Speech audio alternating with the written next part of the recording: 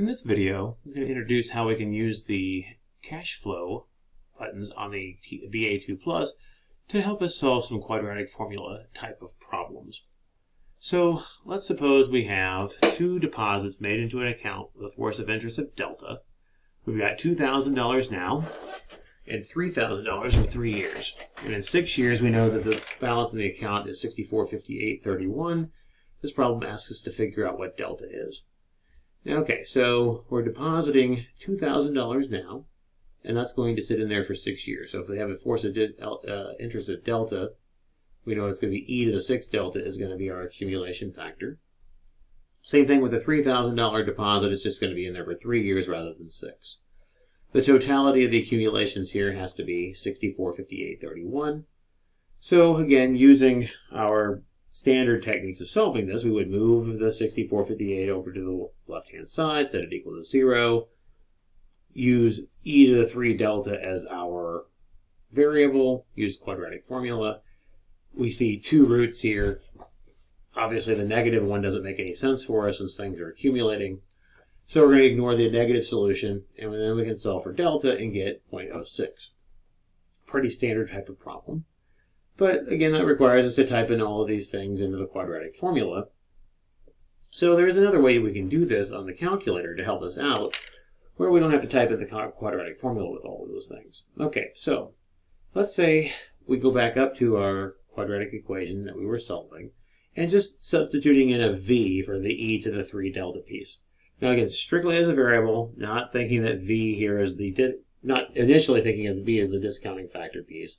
Literally just a straight substitution as a variable. Then we've got a quadratic equation, of course. But now if we think about it as a discounting factor, we can use the internal uh, rate of return functionality of the calculator to be able to solve for the annual effective interest rate of I that's associated with that particular V. All right, so again, going to our cash flow worksheet, let's clear everything out. We've got an initial, looking at the way the equation is set up here, you've got an initial outlay of 6458.31. Make it negative.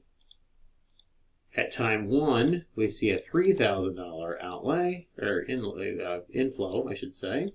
And then at time two, we've got a $2,000 cash flow.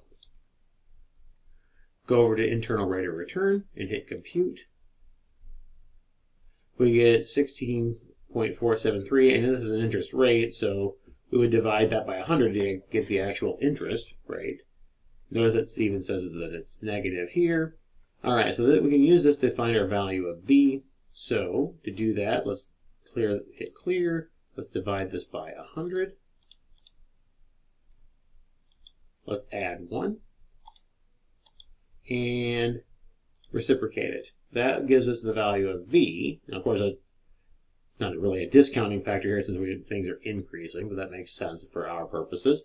Because again, remember, we use the V, thinking of the V as a discounting factor to use the internal rate of return functionality. But now, remember, we got V by just making a substitution, right? So now we can figure out what V, uh, what delta is by looking at the substitution of V equals e to the 3 delta. So we can take the natural log and then divide it by 3. So we get that 6% and get the same answer. Again, it saved us some calculation things, right? We didn't have to go through the quadratic formula and type all those things. We literally just had to type in the three pieces for cash flows, if you will, use the internal rate of return functionality, and then use our substitution to solve for what delta is.